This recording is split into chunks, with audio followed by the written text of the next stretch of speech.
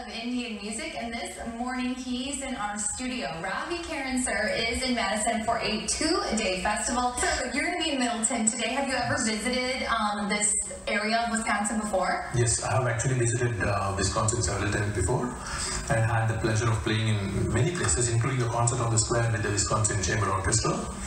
And it's always a pleasure to be here. We have the opportunity to collaborate with an extraordinary musician by the name of Chitravina N. Ravikiran. I have created this um, system of music Melharmony which actually blends both Eastern and Western values. The word melharmony is a conjugation of melody with harmony. And what it does is it aims to bring together the melodic uh, Indian classical music tradition with the harmonic Western classical music tradition. We explore new chords and counterpoints based on the Eastern roots. So they hear the Eastern music in their language.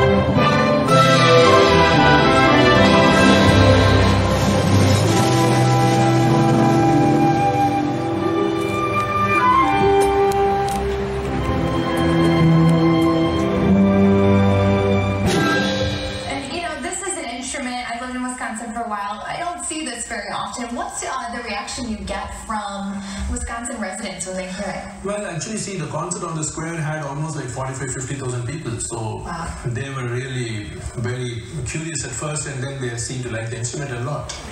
Robbie Kiran, ladies and gentlemen, let's hear this. We are so lucky to be exposed to music like this.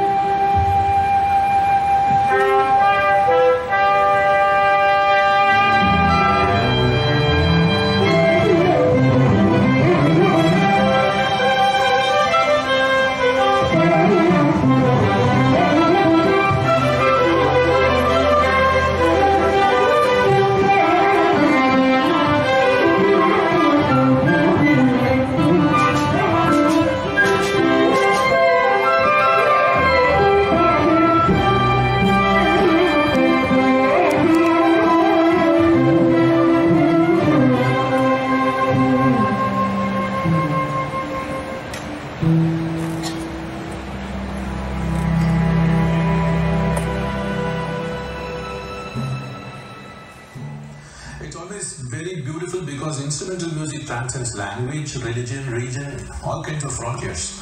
So people can just appreciate the melody, rhythm on just either an intellectual level or at an emotional level. Is this instrument fairly popular in India? Very popular throughout the world now. Is it exciting to bring this, you know, kind of to a different group of people? Incredibly exciting because I always believe that music is to unify people.